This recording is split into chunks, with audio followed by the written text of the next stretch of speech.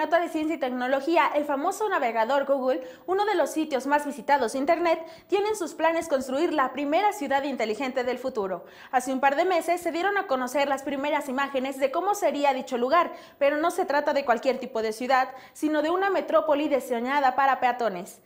Sidewalk es una compañía que se dedica a resolver los problemas que enfrentan las grandes ciudades con ayuda de la tecnología. En una de las etapas del proyecto se tiene planeado crear la primera ciudad inteligente en el puerto de Toronto, donde habrá viviendas y oficinas con una cifra estimada de 4.500 residentes y 3.900 puestos de trabajo. Otra de las etapas que se contempla es la zona del río que pretende construir cinco zonas residenciales. Se calcula que para el 2022 el proyecto ya esté terminado, por lo que podrían llegar los primeros residentes. Cabe señalar que dentro de los objetivos que tiene Google es que dentro de este proyecto se reduzcan los gases que se emitan en la zona de la atmósfera. Es por eso que los distritos serán 100% para los peatones.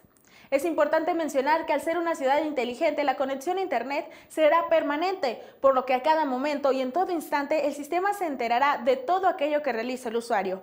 No cabe duda que la tecnología cada vez nos presenta nuevas opciones de vida, un tanto descabelladas y otras que quizá lo parezcan, pero no estamos tan alejados de ser un mundo avanzado. Y es aquí con la nota de ciencia y tecnología, continuamos con más información.